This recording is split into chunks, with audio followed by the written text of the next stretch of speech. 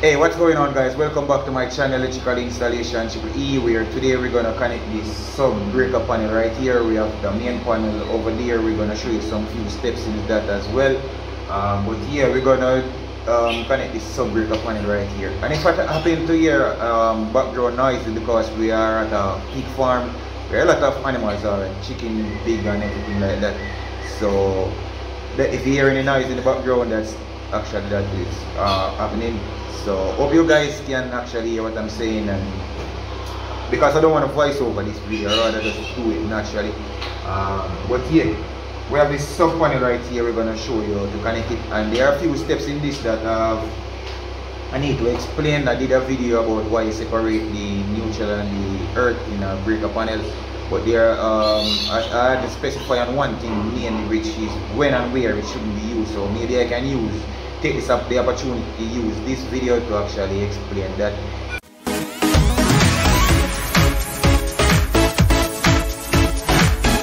so yeah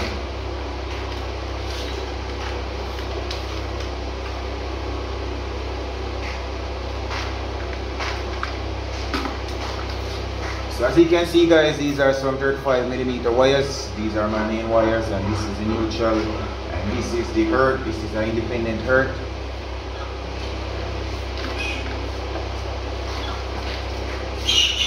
So what we're gonna do now guys, we're gonna connect the main earth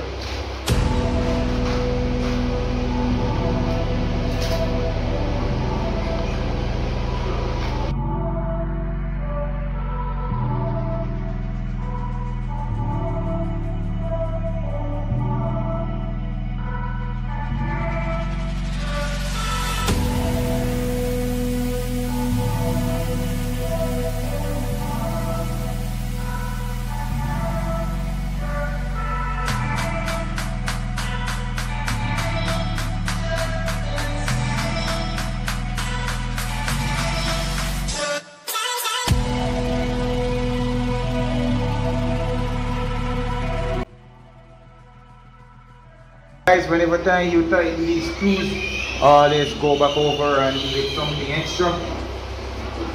Why? Because whenever time you tighten it, the wires tend to get flat. So you get it to get more grip on it, you tighten it a little bit more.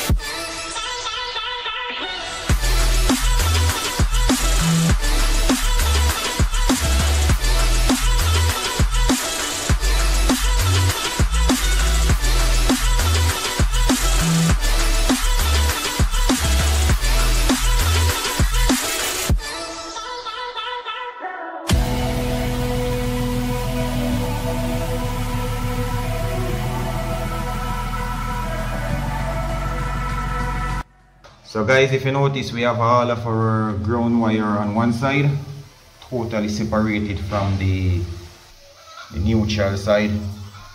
You can see there is no link right there. So guys, why we done that is because we want the main to control everything. we just want the main mainly to control everything. So whenever time there's a fault occur on the, the, the ground side or anything like that, we only want one direction back to the transformer and back to the main breaker. Uh, we don't want it to be um, traveling back both ways. So when we do it in the sub panel, we separate it because we don't want if anything occur in this panel right here, um, especially if the the main that come out, the, the breaker that feed over here is actually, if we connect it on the breaker and in the main panel, um, the main breaker panel don't have any control of this totally if there is a problem to occur or if it's on a bus bar maybe depending but what we don't want is we don't want two way um, to carry back current back to the transformer we actually want one way so that's why we actually do it this way um, in the in the sub panel. We already have it linked in the main panel already.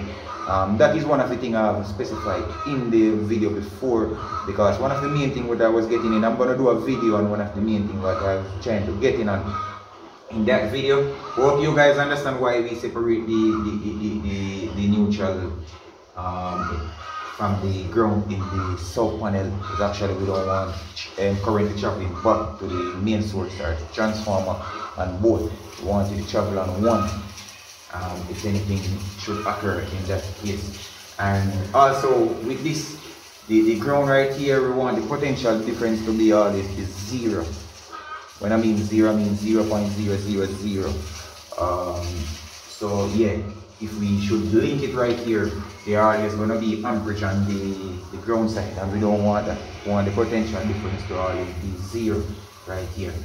So these right here, um, we actually run out of wires so we use black wires so we identify them. These are for 220s so we're going to connect them on some 220 um, breakers. So we're going to use a 100 amp right here to actually feed this building right here. That's why we use a 35 millimeter single wires.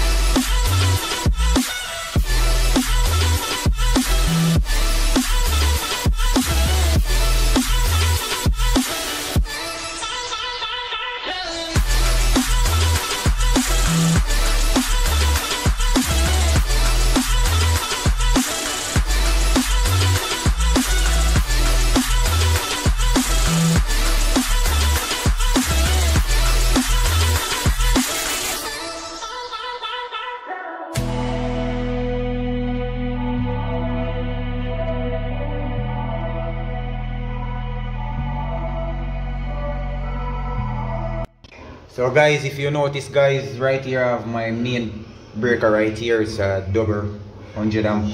I have a 20 amp double right here. Also I have a double right. If you notice I put double across from the, I have both doubles across each other.